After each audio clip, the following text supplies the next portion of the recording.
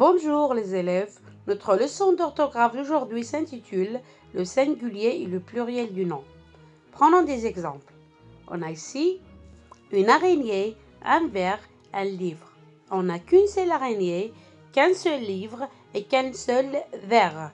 Alors ce sont des noms au singulier. On a des araignées, des vers, des livres. Ce sont plusieurs. On va dire que ce sont des noms au pluriel.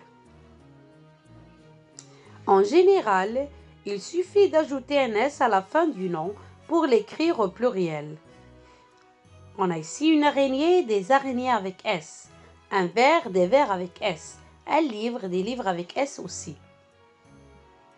les noms qui se terminent par un S, un X ou un Z ne changent pas au pluriel.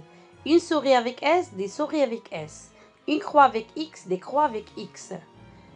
Un nez avec Z, des nez avec Z aussi. Les noms qui se terminent par EAU prennent un X au pluriel. Un seau, des seaux avec X. Un taureau, des taureaux avec X. Un chapeau, des chapeaux avec X aussi. La plupart des noms qui se terminent par O ou E prennent aussi un X au pluriel. Un tuyau, des tuyaux avec X. Un feu, des feux avec X. La plupart des noms terminés par al font leur pluriel en AUX, comme un cheval. Le pluriel, c'est des chevaux. C'est aussi le cas pour quelques noms se terminant par ai ou ou. Un travail, des travaux. Un bijou, des bijoux. Un caillou, des cailloux. Un chou, des choux. Un genou, des genoux. Un hibou, des hiboux. Un joujou, des joujoux.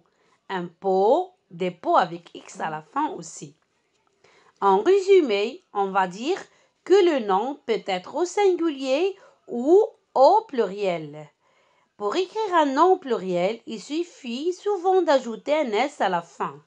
Certains noms au pluriel se terminent par un X. Au revoir les enfants et à la prochaine leçon.